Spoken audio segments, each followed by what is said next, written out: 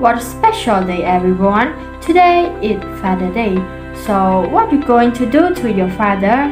Alright, my name is Sansan. My name is Wujin. We are studying at Cambo Bright School.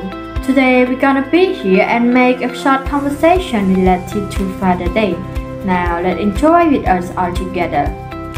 How do you do, sister? How do you do, brother? Sister, do you know what is special day on 18 June? Well, as what I know, on 18 June is Father Day. How smart you are. By the way, do you know why Father Day always connected every year? Mm, as what I have learned, there are plenty of reasons that Father Day is conducted every year.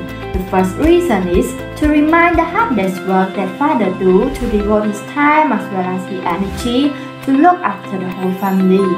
Seeing he had heard that he became a daddy of a little kid. Secondly, to remind to our kids, both son and daughter, to send your wings to their parents when they are still alive.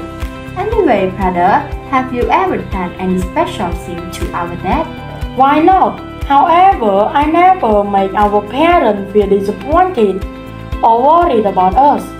You know what our parents need is? They just want to see us success in our learning. Not only this, they want us to find a good job to work.